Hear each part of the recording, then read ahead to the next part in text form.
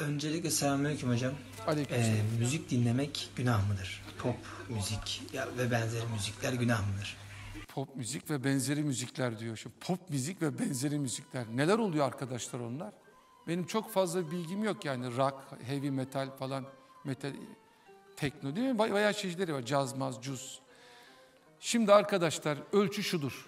Şimdi o günahtır bu günahtır meselesine girersek yani birçok şey mevzu olur. Seni sen olmaktan, seni kulluktan, seni vazifelerden alıkoyan şeylerin hepsi dinen günah sayılmış. Seni aşırılığa sevk eder. Anlatabiliyor muyum? Her şey yerli yerinde. Geçen Koca Mustafa Paşa'dan geçiyorum arabayla. Böyle bir grup pandemi mandemi zaten hak getire. Delikanlı tabii damarlarında şey akıyor, delikanlılık akıyor, şehvet akıyor, kolay değil. Böyle karışık bir grup yapmışlar. Sosyal mesafe, fiziki mesafe, dini mesafe falan yok. Zaten dini mesafe nedir diye sordum, o ne bilmiyoruz diyecekler. O iki metre bile değil, o daha fazla. Sokaktan geçen başka bir namahreme bakamazsın. Bakamazsın. Ama aa, hocam yani bildiğin gibi değil.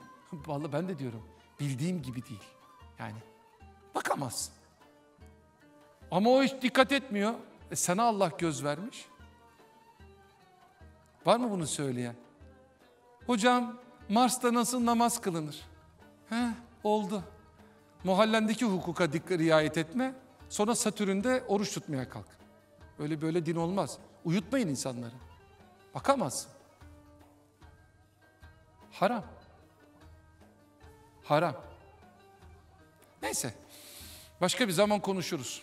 Bakıyorum ben. O senin problemin. Bak ben Kudüs'e gittim Kudüs'e. Bak dinle beni. Dinle beni bak dinle. Kapatma televizyonu dinle. Kudüs'e gittim ben. Tel Aviv havalimanındayım. Bir sofu Yahudi şöyle yürüyor bak. Dedim bu adam neyi kaybetti böyle bir özürlü. Arkadan baktım başka bir tane daha geldi şapkalı. Dedi sofu olan Yahudi herhangi bir namereme kafasını çevirip baktığında buraya düğüm atar dedi. Günah işledim ben diye dedi. Ceza cezası var dedi. Kim? Yahudi. Arkadaşlar her şeyin ölçüsü var. Her şeyin ölçüsü var. Yapabiliyor musun hoca? Yapamıyorum dersin. O ayrı bir şey. Hiçbir şey olmaz dediğin zaman zokayı yersin. Zoka diyorum dikkat edin. Zokayı yersin.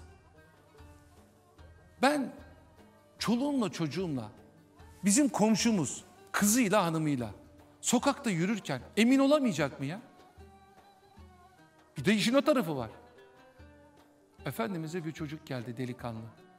Ben bazı şeyleri yapmak için müsaade istiyorum dedi. Efendimiz ona neler söyledi.